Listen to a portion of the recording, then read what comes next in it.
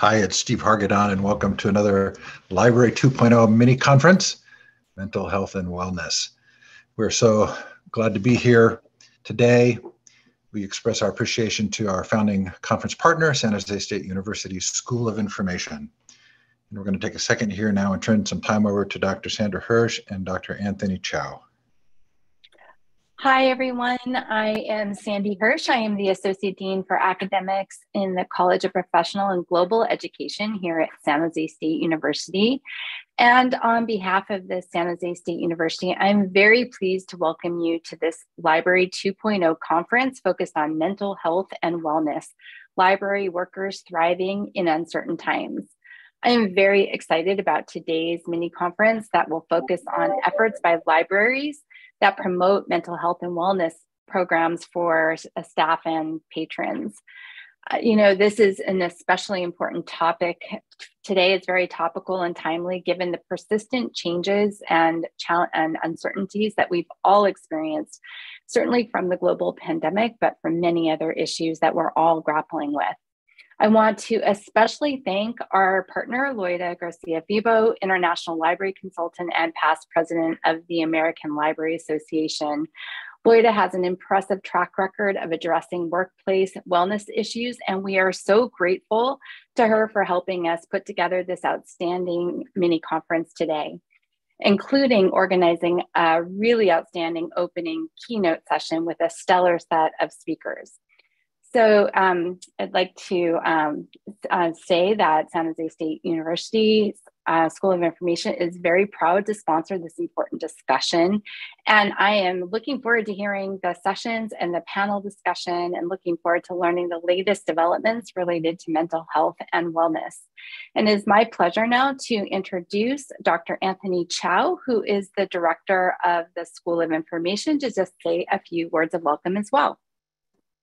Thank you so much, Sandy. Welcome, everybody. Um, as Sandy said, we're proud to sponsor today's event. And it's also a reflection of our new commitment to health and wellness uh, as a strategic value of the SJSU iSchool. As the uh, field evolves to meet the new demands of our disrupted society, it's essential that leaders and organizations make this a priority for their staff. We must take care of ourselves as we help other people. We are the best versions of ourselves. We are happy and healthy.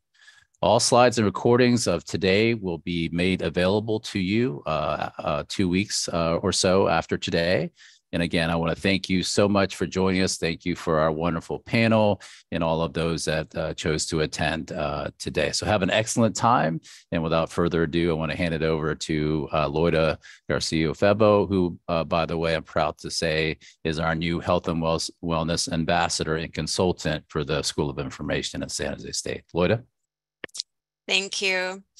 Um, and thank you everyone for um, um, this um, invitation to collaborate and also for the uh, amazing opportunity to talk about wellness that is so timely and we need it.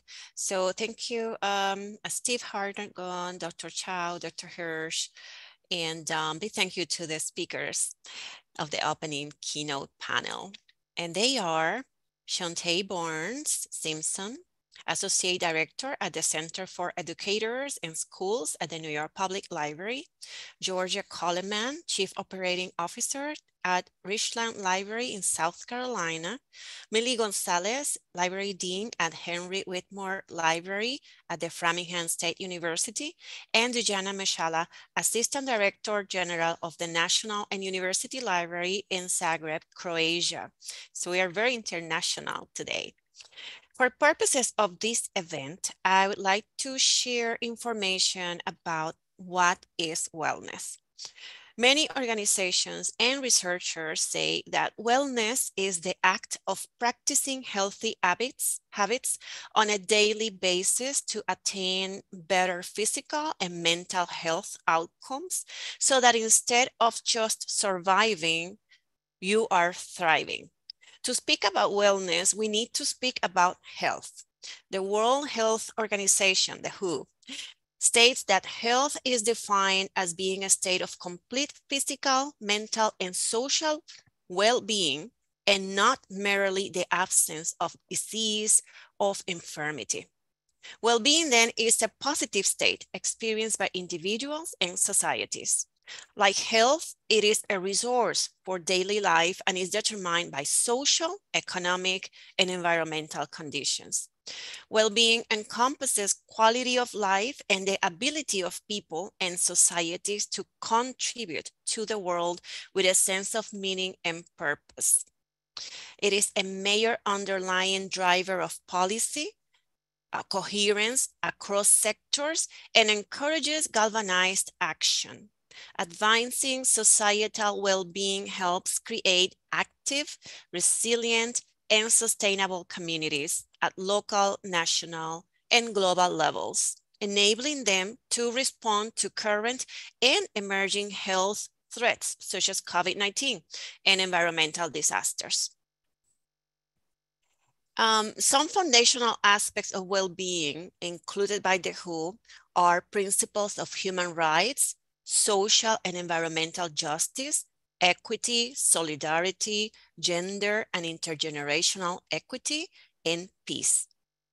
The Centers for Disease here in the USA agreed with researchers that well-being includes different areas like physical, economic, social, emotional, psychological well-being, life satisfaction, engaging activities and work, and development and activity. And finally, ALA in our camp in our field, right? Uh, the ALA Allied Professional Association includes eight areas of wellness in the wellness resource page: emotional, environmental, financial, intellectual, occupational, physical, spiritual, and social. And uh, with this information, with that said, I would like to first welcome Dijana Machala from the Croatian Library Association and with a video. And in this video, we're going to uh, briefly learn about some of the um, uh, emerging strategies they are using in Croatia at country level, which is very interesting for librarianship. And Steve is going to help us with that. The video then will be posted, the entire video on the event website. Asian Book Month, uh, which is annual national program successfully promoting books and reading for over 25 years, uh, open on 2022 uh, under this under the slogan "Do good to yourself and uh, and the world." Read, uh, and uh, it was organized by Zagreb Public Library and also National and University Library participated in that program among over 240 participants. And we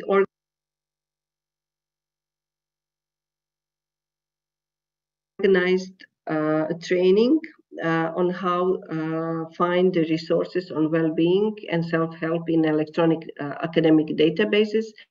This training uh, was uh, held as a part of EU Erasmus Plus Citizen Science project. Our public libraries also provide trainings on how to cope with stress. Here is some examples of our colleague um, uh, uh, doing um, participating in workshops on strategies for managing and resolving conflicts, providing uh, guidelines to managing stress and crisis intervention, or avoiding burnout at the work. Finally, uh, when we uh, organized our uh, 47th annual uh, Croatian Library Association conference last year in uh, Zadar. We put well-being uh, as one of the main topic of our uh, conference. So um, between digital transformation and green transition, um, about talking about library profession in a new context, uh, the special uh, place um, in our presentations uh, was uh, the topic for well-being of librarians. Our intention was to open up a discussion about well-being of librarians in Croatia, to share information and knowledge about best practices, to see what our colleagues are doing in uh, libraries, uh, to to, to speak about uh, well-being and raising awareness on how well-being at work is crucial uh, for success. and our intention uh, is to build a community of practice. So we um, uh, was very proud to invite uh, our um, uh, keynote speaker on wellness. Um, Lois, uh, Loida Garcia Febo to, to uh, share uh, her knowledge uh, with our community. And thank you again, uh, Loida, uh, to came to Zadar and to share your knowledge on such such a big topic as wellness. So it is a long journey um, in head of us, but we could say now that we should treat well-being uh, as a priority with accountability mechanisms such as regular pulse surveys. Um, uh, well-being is essential for coping with constant change and work environment, and it should uh, have place in professional discourse of librarians. Um, we realize that well-being it is a multidimensional and complex topic and that requires multidisciplinary uh, approach. It should not be just relay, uh, relay, uh, relegated to organizations or uh, human resource departments. Uh, Library Association could create knowledge around well-being in line to minimize stigma uh, about talking about emotions uh, we, sh we should provide training opportunities for leaders, managers, and uh, librarians uh, on how to nav navigate emotions at work, uh, how to overcome difficult conversation, and how to create supportive uh, workplaces. And finally, uh, we all participate in building a culture of well-being. Thank you for your attention. So I can't wait to see more uh, national library associations dedicating a big part of their conference to wellness and, and many more countries and cities uh, uh, with um, waving the wellness flag as uh, Croatia is doing. So I hope this is inspirational for everybody. Now let's let's get into the conversation with our esteemed guest speakers, and we're going to start um, asking why do you think there is momentum to bring wellness to library workers? And I can call your name so you can go ahead. Let's say Millie.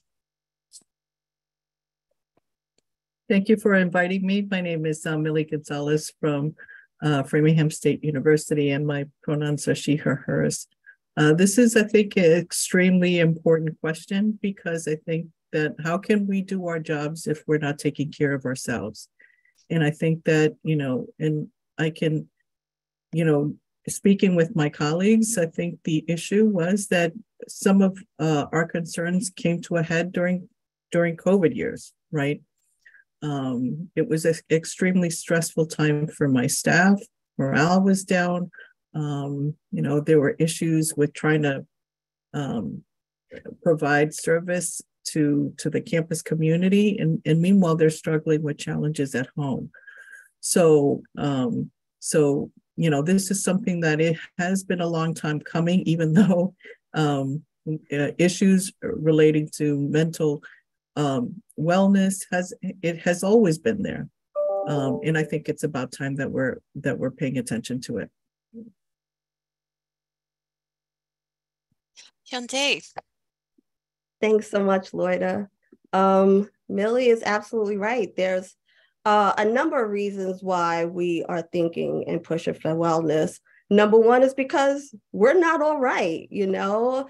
Uh, like Millie pointed out, we all experienced a, a worldwide pandemic that brought everything to just a sudden halt, and we just had to figure things out. I mean, I was pregnant at the time. I thought the world was coming to an end. But I mean, we were all in front of our computers, in front of the television, and we were witnessing um, injustices that was happening to people of color. And now libraries were dealing with book banning and the continued push to restrict culturally responsive teaching and the erasure of stories by and about LGBTQ plus and people of color. So the the profession is being pushed and questioned and folks aren't okay Uh, we have staff at all levels who are feeling stressed in and outside of the library. So, like Millie pointed out, we can't help our community when we aren't okay. Thank you, Shauntee. Um, Georgia. Yeah, Shauntee, just to piggyback on that too, we, you know, think a lot about um, serving our community and seeing these issues of wellness and mental health kind of coming up in the community. Um, and we really strive to hire staff that reflect um, the community that we serve. And so they are our community. Um, so as we're trying to meet the needs of the people, um, it's been a rough go of it a little bit for the last few years. And as we've been trying to to see how the library can and meet people, our customers, in new ways on the front of mental health and wellness, um, I think it just makes sense that we want to do the same thing for our staff members. Yes, uh, Dijana. Thank you, thank you, Loida. Um, I just uh, um, hear you saying, uh, and I agree with you all. Um, we uh, reflected the wellness at the Croatian Library Association uh, to talk about the wellness on the uh, level of uh, library association because we think that it's much easier to talk um, in a framework of association than to speak about wellness and um, um, the need to, to be well as a person. So we just provided the framework for our uh, colleagues, for our librarians, to, to go to association and to feel uh, free to speak about uh, their emotional status and how they feel uh, in such uh, uncertain times. Great forum, great opportunity. Um, and that's what we need to do. Um, and so how this said, right, we're not okay. It is definitely, uh, there are even articles. I've seen two articles uh, in librarianship that says that we're not okay. And we do know that. Um, so how are your organizations supporting the wellness of library workers? And these can vary from organization to organization. Uh, we'll just, again, uh, we'll go with uh, Millie. So the, the question is, how are they? How are the organizations supporting the wellness of library workers? So, you know, one of the things that I discovered is that I need to get out of the way, right? I need to give my staff uh, the agency uh, and autonomy to decide what works for them. And so, um, so one of the things that I challenged my staff is, you know, I think it's extremely important that we focus and be intentional about um, morale. What can we do? And not wait for others to try to come up with some magical solution, but what can we do to control um, our situation and improve, you know, staff morale? And so, um, so a group of staff members volunteered, and they created um, a committee called SMAC, uh, Staff uh, uh, Staff Morale Advisory Committee and this is their committee. So um, it's a wonderful uh, committee because they are in tune with with with staff. Uh, so they, you know, we have an anonymous survey called, you know, sweet and salty, uh, where you know we can we can you know we and again I'm a bystander in this process. This is their committee, um, and they're highlighting and bringing up issues that need to be discussed the other things, you know, um, you know, and I always say, you know, if it's not working for you, tell me. But sometimes staff members are are afraid to have those frank conversations, right? And um, and so uh, so a committee like this, um, you know, and and they had their voice. So, for example, you know, out of this committee, they were like, these staff meetings are not for us, right? They're, you know, I don't like the format you know this is what i would like to do. And so again you know for me it's like i'd rather have a, a an engaged staff than um, than me create top down something that is just not working for them. So you know so again smac did a wonderful job in in in polling surveying the staff members. Um, they want to build community Um, one of the things that you know we did before is that we hosted these uh, staff lunches. Well, they were kind of formal, and what they wanted is they wanted to build community informally. So again, this is something that um, it is their it is their it is in their hands. They have the autonomy and agency to create their environment. And for me, you know, there's a number of different things that I can do to support them. And those issues are bubbled up through SMAC. I love that acronym SMAC. Like, let's smack all the things that's not serving us out of the way. Um, but libraries of all sectors are really focused on the wellness of staff. But I just really wanted to highlight a webinar from the uh, National Library of Medicine, and they offered a two week course called Wellness in the Library Workplace. And um, participants uh, was able to explore the aspects of a healthy workplace, including uh, physical, mental, and emotional components. And um, the first week, they looked at the evidence on the benefits of having a healthy working environment in the library as well as in the community. And then um, you were able to discuss what does and does not make a healthy working environment. And what's really uh, helpful about having that discussion is a lot of things that you are working with the dealing with that you don't even realize is unhealthy because it was just such a common practice, which is unfortunate. And then um, the second week, participants learned and explored changes they can make at an individual level to improve workplace health and wellness. And I love that because it included what you can do as the individual, but also what needed to be done in the different levels of the organization as well. So that's uh, one of my examples. Um, yes, Shauntee, and um, with uh, ALA did that in partnership, in collaboration with the National Library of Medicine, and Bobbi uh, Newman uh, taught that course. She's wonderful. I will mention her during my uh, closing keynote. Uh, Dijana. Thank you, uh, Loida. Uh, I think uh, Millie uh, just said this flexibility uh, in workplace uh, we, as a, uh, um, leaders or heads of departments must be flexible with our co-workers um, because in the time of crisis, it is very important to have um, staff or um, uh, leadership to, to rely on, to, to have people in front of you and to uh, have uh, this opportunity to say uh, what is the best and how to achieve the best results uh, with the resources that we, we have uh, at the moment. So um, this emotional competence uh, is perhaps most valued competence than professional skills at, at the moment of crisis. Thank you. I'm very interested in what Georgia has to share because um, Georgia's library was the recipient of the first uh, ALA citation for wellness in the workplace. Uh, and that's something that uh, we established when, during my ALA presidency. Georgia.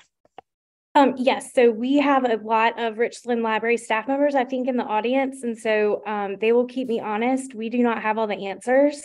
Um, and I think that's one of the first things that we've had to recognize is that this is very much a work in progress.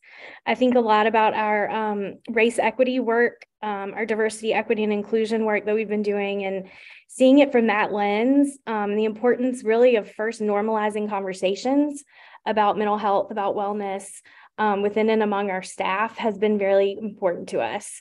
Um, and along with that goes authenticity and vulnerability and willingness to say, um, much like Millie said, you know, leadership doesn't have all the answers. Um, and so it has been wonderful to see our staff kind of jump in and also help kind of guide initiatives. We um, recently have ex- expanded our employee assistance program. We heard that from staff that they needed more opportunity to connect with professionals, um, counselors. Um, and so that has been a, a huge benefit. Um, just on March 26th, we extended our FMLA benefits um, to cover 100% fully paid FMLA leave, as well as open PTO, which hopefully will allow people to get um, the time that they need to take care of themselves and invest that time in themselves. Um, and then even back, you know, what you mentioned the award that we won, some of that was about um, as we were designing our spaces, building in things like I've seen in the chat, like quiet spaces for staff to kind of decompress a little bit. I mean, can that really happen? Not so much, but we can try. Um, we have some quiet spaces for that, nursing mothers' rooms, um, places, comfortable places for moms who are pumping to go and pump. So um, it's a lot of little like grains of sand on this like giant beach of things that need to be done, both in our organizations and in the broader world. Um, but together, I think we're we're kind of we're growing pearls. We're trying to. And one thing I would also add um, is that we have a telework op- option. So staff members are able to work from home uh, one day a week during the academic year and in the summer, uh, two days a week. And that has been a huge morale booster.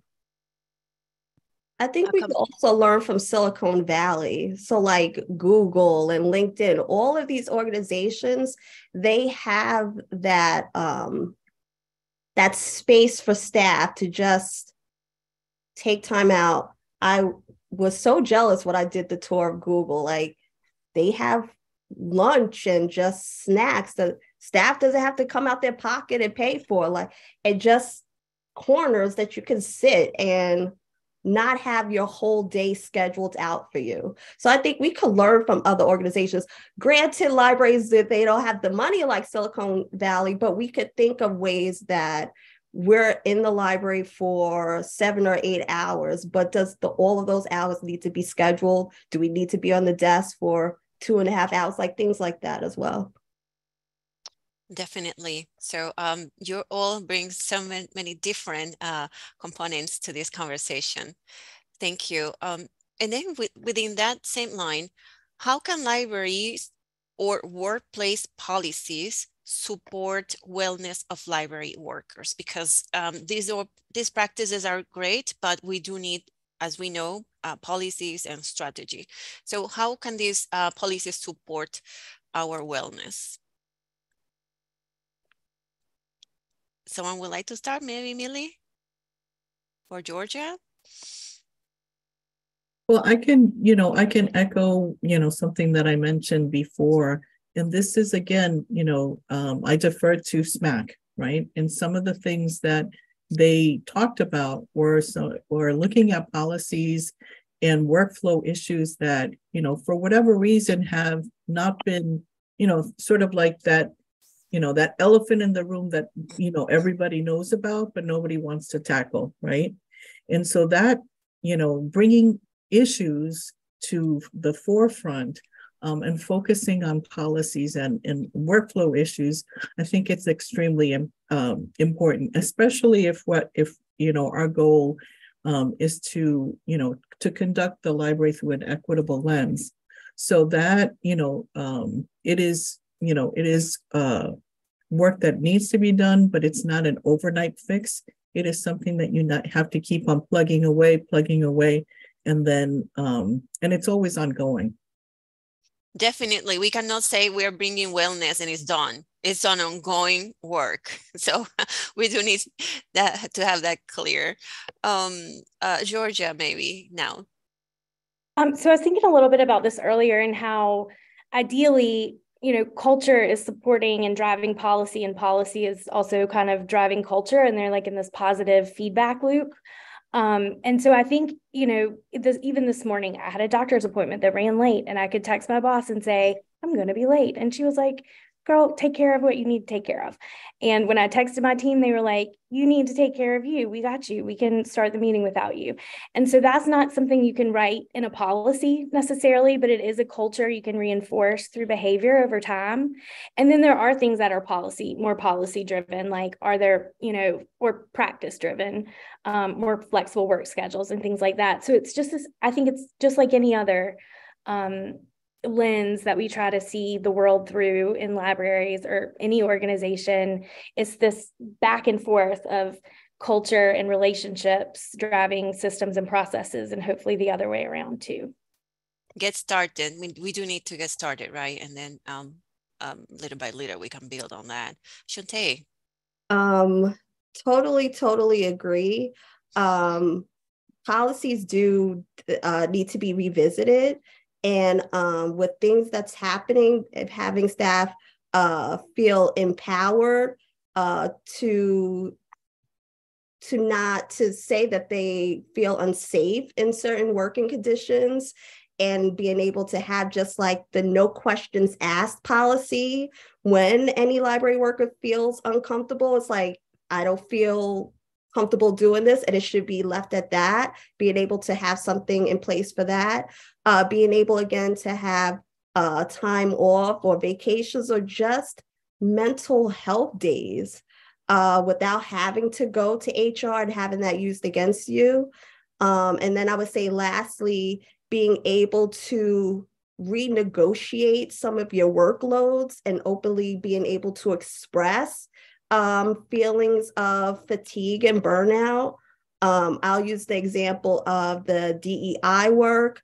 Uh, I know many of us we we label it as the black tax because a lot of people whether it's black staff or people of color they're doing the extra DEI work with no extra compensation. So just like like uh, you said Georgia being able to have that culture for folks to feel comfortable going to uh, their manager or whoever they report to is saying I'm not okay um, I need to, I'm running a little late because of a doctor's appointment and not having that used against them if they have to have some kind of um, review done on them. Definitely. Shauntee, I would jump onto that and just say like a very small lesson that I learned through this is as we were going through so many crises in, in our country related to um, people of color being, you know, um, the police violence and then the shootings that happened. And it was like these back to back tragedies. Um, we wanted to give space and hold space for people to be able to have those discussions but it was also really important for me to remember that part of self-care might be not having those discussions too so it's about it's about it's about holding space for it and also letting people opt in or opt out without judgment based on what is best for them in the moment. And that was just i was really glad that i learned that like in the nick of time.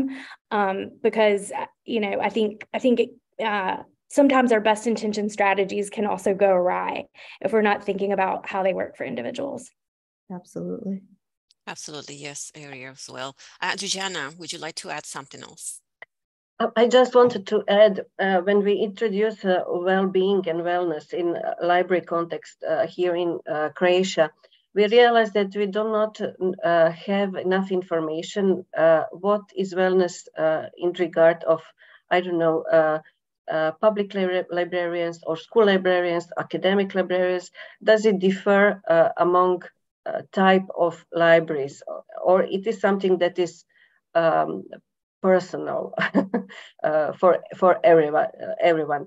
So before thinking about um, employing some policy or uh, I don't know, um, proposing uh, the framework for the well-being, and not to be too restrictive uh, for uh, all library community. Uh, our idea is to um, get um, to, to provide some I don't know job satisfaction surveys or or to see how the librarians are coping with workload uh, does it the same for, I don't know, every type of library? Uh, does it uh, the same for, I don't know, young, young colleagues and the old one, how they uh, differ uh, on the topic of well-being? So it has much, much uh, work has to be done um, to imply some um, general policy about well-being. I appreciate your view on this because this is an emerging area still. It's very emerging, uh, not only in cities in the United States, but in different countries in the world, because we need to think that for generations, we have just focused on work, on producing. And there are people that um, take pride in not taking days off and not taking sick days. And then when they retire, they have about 3,000 days because they have not taken them And um, I mean, do they live longer? I don't know. I don't want to get into that, but um, it's not a great practice. That's what we something we can agree. And then, so uh, the the points that Dijana makes are very interesting because different countries, different regions are trying to approach these. Everybody I see agrees. Wellness is great. How we approach it, how we how we bring this into this uh, work cultures that can vary from cities, uh, from regions and countries. So it's very valuable, and we should keep keep all these um, aspects in mind. Um, we still have, oh, we are great on time. So we're probably going to cover many more questions. Um, now, uh, we would like to talk about how do you recommend library workers seek buy-in from supervisors and administrators. Like I said, this is still very emerging and there are uh, different uh, views and, and, ways of thinking. Um, I will I will go to Millie she is a current our our dean of libraries in the panel.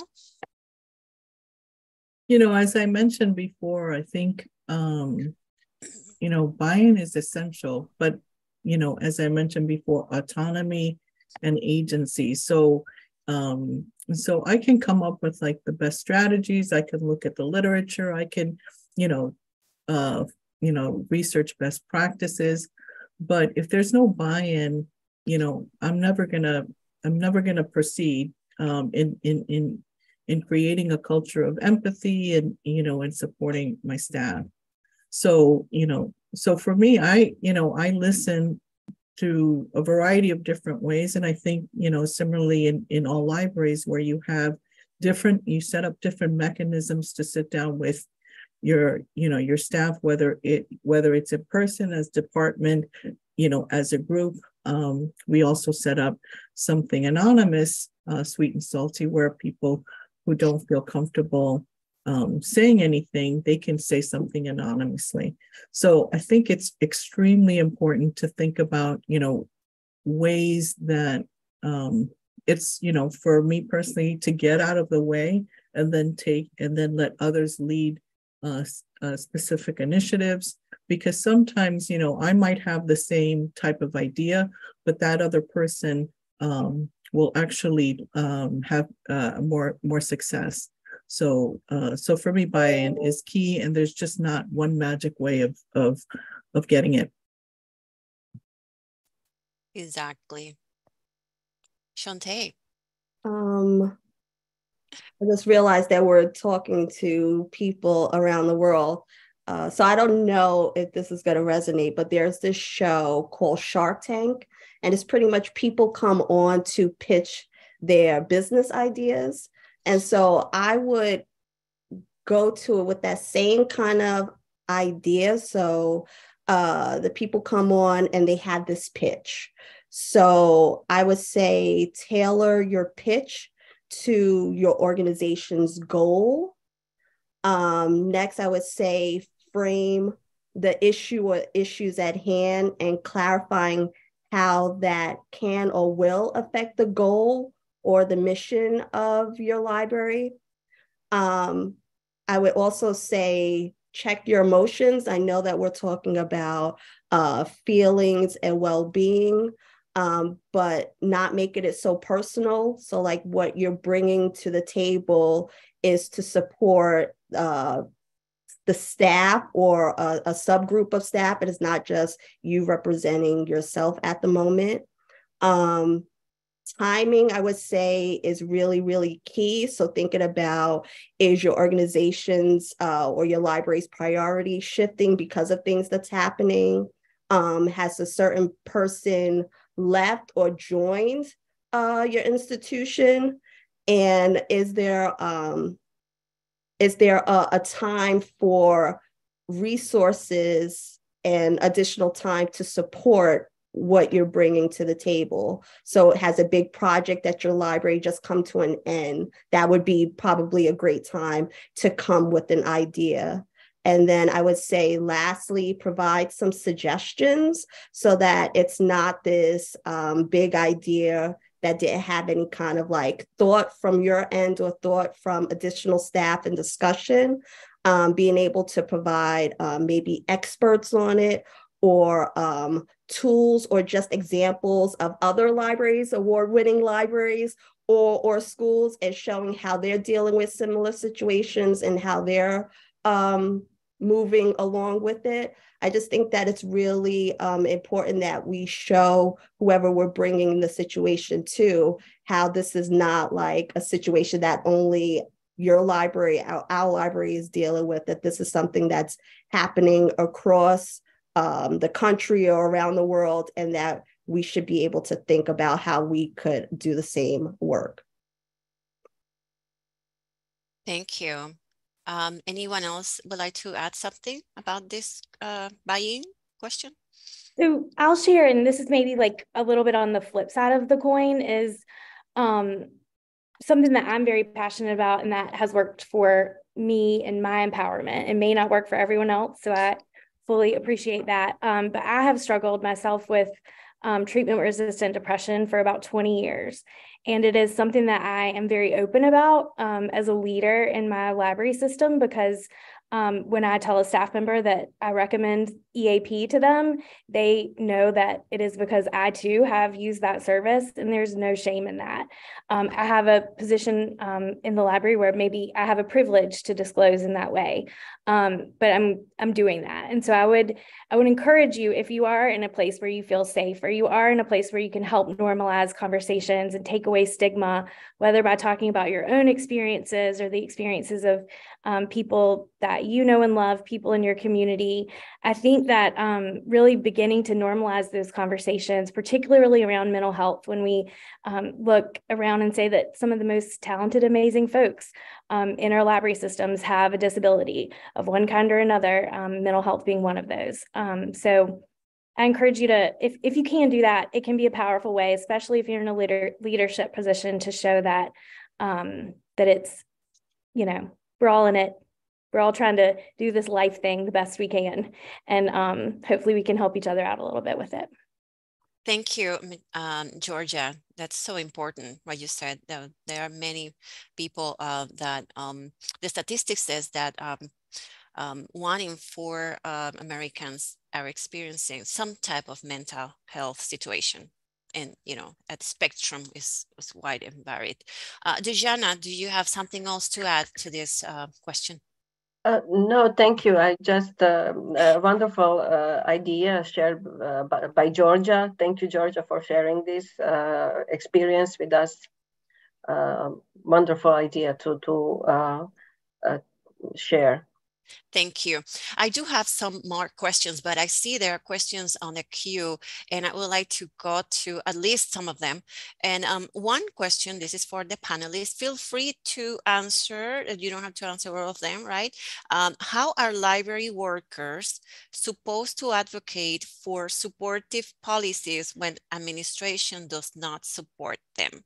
I know we went over that, but if you have anything else to add in terms of policies, and I think this is a little bit on the buy-in area. Um, if you have something else to add, how are library workers supposed to advocate for supportive policies when administration do, does not support them? Yeah, I totally understand that, especially if you're in a big system where um, where you are uh, going to work and you might not have that uh, that type of relationship that um, Georgia expressed, like that's ideal to have a supportive um, person that you report to, but um, in some um, institutions where like change really goes even above the person that you support, um, I think that there is um, layers and steps. And that's why I say if you're able to tie it into what um, the organization or the library is already thinking about or whatever their the the goal or mission is being able to align it i think that that might be a helpful way. Um the process and procedures that may look different because all of our libraries are set up differently whether that is um, this work is being handled through HR or if this work is being handled through a union, and that all looks different. So that's where the answer is not really clear cut. Anybody else on the panel would like to add something to that? I think that's um, always the hard thing with a lot of these issues is trying to change a system that isn't working from within the system that isn't working. Um, and so if you figure that out, we could probably get a lot of things done. But I do wonder if there's um, a way to tie it back. Like, do you have a strategic plan? Are there customer experience goals that you have? Like, what matters to um, that administration? What is motivating to them? Almost like turn it turn it back. Like we as managers try to think about our staff. How are we motivating them? What do they care about? And how can we um, put this in in their language um, in a way that makes um, sense to them? So, um, yeah, that's what I would suggest. Thank and, you. And, and sometimes you have to find other champions, you know, that are outside of your scope and and building those relationships. Uh, so, for example, you know, sometimes um, volunteering at in in in getting outside of the library and partnering with different departments then all of a sudden you build these relationships that are outside with out of outside of library walls um, and then you start cultivating um, a network of people uh, the more people that are involved and concerned you know the better um, better chances of any kind of movement um, and I also agree with what Georgia was saying. Sometimes you have to put things in people's languages for them to understand that it is a win win situation. Um, and then finally, I would just add patience because sometimes something that is worthwhile, um, you just have to have patience and then you have to have dogged determination to change. Thank you. I, am going to go to another question that we have. Um, and this is very interesting. Um, it says that one of the fears in the discussion is that prioritizing self-care might lead to uh, uh, being perceived as, as being uh, lazy or passport people no longer needing to be accountable.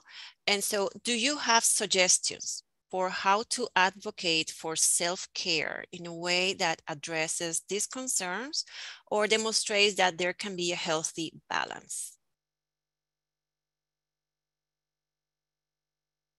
I can share, you know, um, a couple years ago, I was uh, really burnt, burnt out, had a number of different personal issues going on. And it was, you know, and then, and then on top of that, COVID, right? So it was a nice toxic mixture of a lot of different things. And, you know, um, I had to take a step back. And I think when I hear self care, self care is self care to, you know, means, means different things to different people um and you know and and i realized you know i was overworking myself working seven days a week you know um, emails at up to nine o'clock at night and and then i was never going to get done right? So you know so i had to set priorities for myself that what can i do to still be effective um, you know prioritize the things that needed to be done that are important to my staff that are important to the administration that are important to my students um, and then, you know, this other stuff is always going to be there, you know, um, and that's okay. You know, I would rather be um, a happy, you know, hardworking person than someone that is overworked and miserable and resentful, right? So, you know, so you have to decide what, you know, what how what what it means to you in terms of self-care it could might be you know pulling back it doesn't mean that you're less, you know, any less of a of a hardworking um, employee. It just means that you're going to be doing things differently, doing things differently that you know that will help you actually be a better person. Indeed, indeed, and there's I just saw a Meredith. Uh, uh, contributing compassion fatigue, right? There are some terms that are being floated around librarianship and that are uh, do us good also to look into that and actually uh, share with others. In this case, like Millie uh, mentioned, um, it's not laziness, it's really taking care of ourselves and, and hopefully uh, these type of concepts and um, are opening the understanding of everybody upper management, middle management, and uh, the, even the part-time staff because it's very important. Um, uh, anybody else has something to add to this? Um, yeah, I will just give a shout out to many of my colleagues that are part of the Black Caucus of the American Library Association who really uh, allowed me to learn that self care includes saying no. I think a lot of times when you think of self care, we think about, oh, we're going to a spa or getting our our nails done or something like that. Self care is just really being able to set boundaries and say no. And the fact that no is a complete sentence, there's no justification behind it is really important. So let's remember that when we're thinking about self care as well. Exactly. All right. We don't have any comments, any other comments about that. We still have another question here and some time. And um, this one, it's it's a bit about, about what we had discussed, but um, how can we, and, and this is something that the person wrote, how can we as lower management better push back against organizational pressures around thin staffing and work to better support employees in taking advantage of their benefits. And we are all experiencing that in different settings, right? Uh, things staffing because we are experiencing uh, uh, illnesses, caregiving. There are there are valid reasons. So how um, people can uh, deal with it.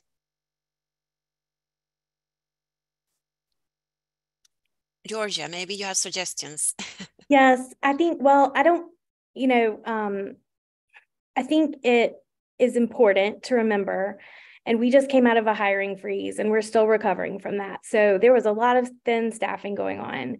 Um, and that was an organizational problem, right? That wasn't like Millie's problem or um, Shauntee's problem. That doesn't mean that they individually needed to carry the burden of um, of you know a thin staffing situation now as a team people came together and did that um, but i think as leaders in organizations and um, we have to be kind and realistic about the expectations that we have for our staff and for our organizations and for each other.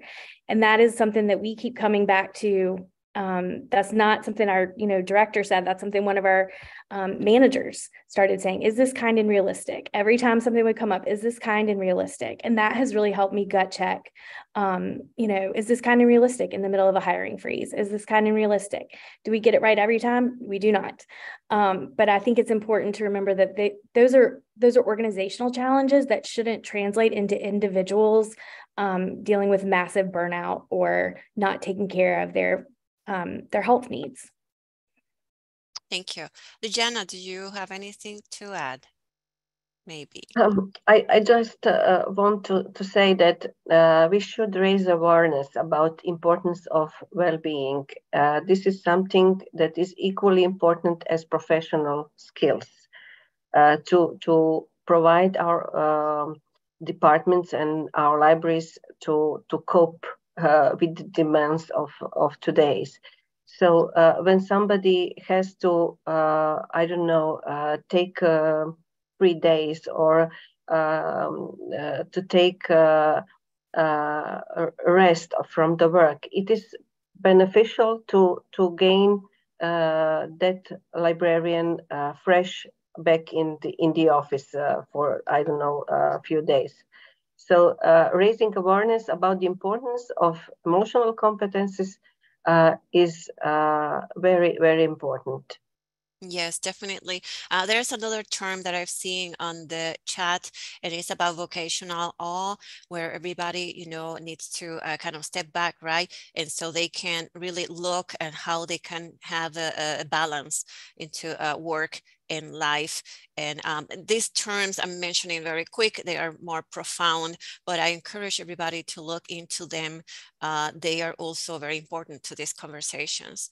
Um, uh, we are running out of time, but I wanted to uh, ask a question that goes with our digital times because we are living in this very connected uh, uh, um, uh, culture now and, and, it was very evident and even increased during uh, the pandemic. And so how can organizations leverage digital platforms to bring wellness to staff members Anybody has uh, something to say about that? Um, I'll just jump in because I want to say something about that as a little something about the last question. Um, with the digital platform, I know that we have this um it's this virtual uh, platform. Please don't ask the name of it because I was also thinking about the name of the the platform we use uh, in case like someone needs last minute uh, childcare. Um, so there are uh, things that is being utilized to support staff. Um, we also just have to think that if we're a short staff, we can't continue to move as if we were fully staffed. So being able to uh, go up into to administration and say, look, we would love to continue what we're doing, but the staffing is not allowing this. And so, what do we need to pull until we have enough staffing to go back to regular programming or, or things like that? But life happens. So, if your child's not in school and your babysitter is sick, there is a um, a platform. There is a platform that we can go to that the I believe the library pays up to three of those sessions for free. So you're able to drop uh, the child off. I think it's called Brightspace, but I'll look it up and share. Uh, but also being able to use um, these customized virtual classes that could support Bright Horizons. Thank you, Brenda. Um, uh, also customize uh, virtual classes. So again, being able to have staff be able to do like yoga and meditation all with a professional when it's like suitable for them. So this is just some of the things that I could think of off the top of my head that can support staff at this time um, in this digital time. Thank you. Someone else. One of the things that, you know, it's also pertaining to um, the question before is that we just assume that the things that that are being asked, you know, is what needs to be done and sometimes turning it around and and posing it at with a with a creative solution as a community saying well you know because sometimes administrators are like in a bubble right? So you know so it's extremely important for them to understand you know what's actually really happening right? And then uh, relating to the to the digital question it's like a double-edged sword right you know i i got i'm on too many zoom meetings you know and you know that sense of community is you know is the sense of community is really hard to be to rebuild right? We have to do it in person. So turn off those screens right?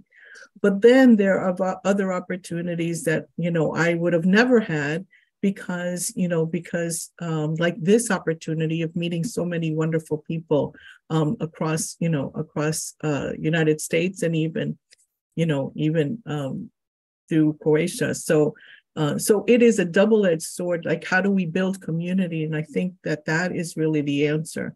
Is you know finding ways to make our lives easier, but not taking away what we need to to do in in order for us to you know to build community. We are running out of time, but I want to hear what Georgia and Dijana perhaps have to add. And so this will be, right, your closing also uh, mini remarks as well, uh, Georgia.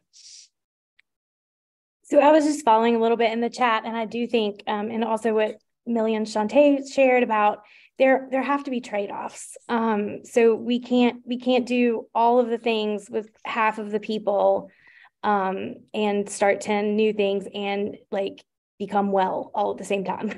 um, so we're going to have to prioritize. And I think if um, having those, if you can have a candid conversation, if you can present um, your your um, solutions in ways that speak to hopefully the goals of the management that you're working with. Um, and if you can kind of join together and, and form, we've had some um, affinity groups start both um, organically and and uh, through our HR department. And I think those are good ways too to share. You know, people who are um, women in leadership are dealing with these challenges. So um, I think you know, be allies um, and try to support each other where you can. And Dijana. Uh, uh, we should use digital technology uh, to help us uh, overcome with everyday uh, problems and uh, tough situation.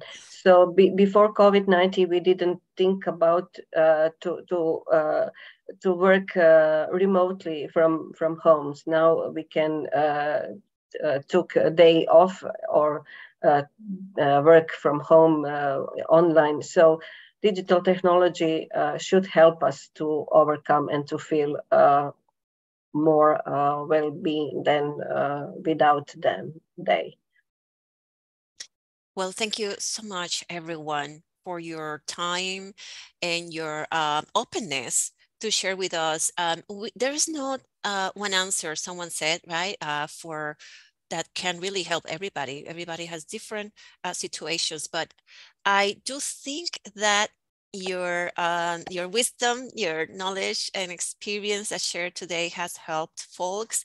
Um, it's very heartening to see how we went up to 812 attendees. Uh, it's incredible. Uh, we we we know we knew there was interest in wellness, but um, uh, this really um, tell us that is a big need as well. And um, I hope this conversation was, was useful. Um, there are maybe some questions or some comments not addressed, but please, I encourage everyone to go into one of the other sessions we have, and perhaps that way you can find some answers. And um, great to have you all here, speakers and attendees as well. I would like to consult with Steve uh, if he has any instructions for everybody to go to their um, programs. No, we're going to close quickly. Let you go into those rooms. We had 222 in the YouTube channel as well, so we were over a thousand. Congratulations, everyone. Thanks for a great session. We'll go ahead and close now. Thank you, everybody.